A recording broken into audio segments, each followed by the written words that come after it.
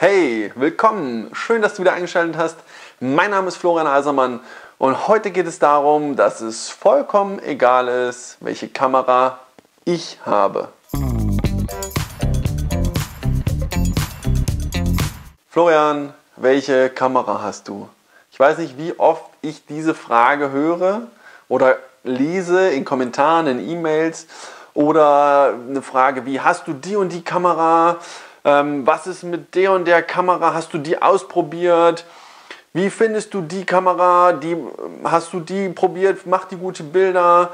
Und habe euch ja schon mal erklärt oder erzählt, was ich für Kameras habe. Ich fotografiere einfach mit Nikons und äh, habe noch eine Fuji für, für so unterwegs, aber das, das war's. Und ich habe jetzt nicht Panasonic, Sony, Canon, Pentax, Olympus. Olympus hatte ich mal, aber ansonsten, also ich habe keine andere. Und ich kann leider auch nicht dazu sagen, ob die jetzt gut sind oder nicht. Und um ehrlich zu sein, mit Sicherheit sind die gut, weil es sind alle Kameras gut, die es auf dem Markt gibt. Also selbst jedes Einsteigermodell von Nikon, Canon oder so, die sind alle richtig gut, die Spiegelreflex- oder Systemkameras.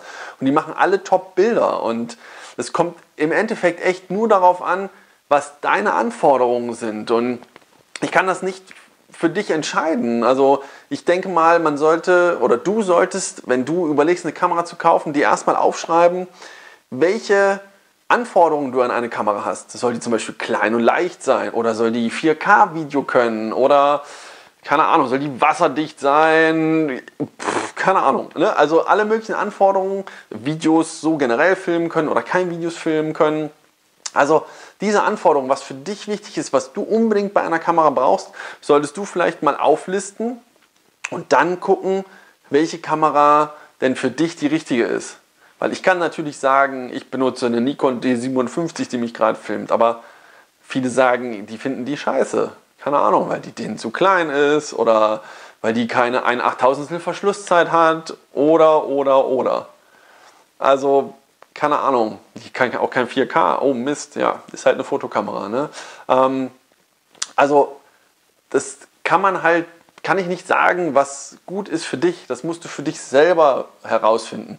Ich kann dir nur erklären oder erzählen, was ich für Kameras habe und warum ich die habe. Und vielleicht deckt sich das auch mit deinen Anforderungen. Dann ist es ja cool. Dann kannst du meine Tipps vielleicht annehmen oder mal drüber nachdenken. Ähm, aber ich versuche halt, wenn ich über Kameras oder Technik spreche, immer auch mitzugeben, warum das für mich wichtig ist oder interessant ist. Wie genauso mit dem Review zur Fuji-Kamera, zu der, zu der X100T. Ähm, es ist halt eine kleine Kompaktkamera mit einer Festbrennweite. Das habe das hab ich im Video gesagt, das ist nicht für jeden und äh, das empfehle ich auch nicht jedem. Und trotzdem kommen dann natürlich Fragen, empfiehlst du mir die oder die? Und nein, jein, ja, vielleicht, keine Ahnung. Ne? Also wie gesagt, das muss halt für dich, musst du selber leider entscheiden. Ich kann das nicht für dich machen und deswegen ist es vollkommen egal, leider, welche Kamera ich benutze. Es kommt darauf an, welche Kamera du benutzen möchtest und was deine Anforderungen sind. Aber wenn dir beim Fotografieren mal die Ideen ausgehen, da kann ich dir sehr gerne helfen. Und zwar habe ich ein E-Paper für dich mit fünf Fotoideen vorbereitet, das, äh, die du direkt umsetzen kannst. Das schicke ich dir direkt zu. Der Link ist unten. Und die kannst du bei jedem Wetter umsetzen, diese Ideen. Also lad dir das E-Paper mal runter und experimentiere mal ein bisschen mit diesen Ideen. Ja, und ansonsten, wenn dir das Video gefallen hat, freue ich mich natürlich über einen Daumen nach oben. Und es wäre auch super cool, wenn du meinen YouTube-Kanal abonnierst oder meine Facebook-Seite likest oder beides. Dann verpasst du auf jeden Fall kein neues Video mehr. Ja, und ansonsten sehen wir uns beim nächsten Video. Ciao!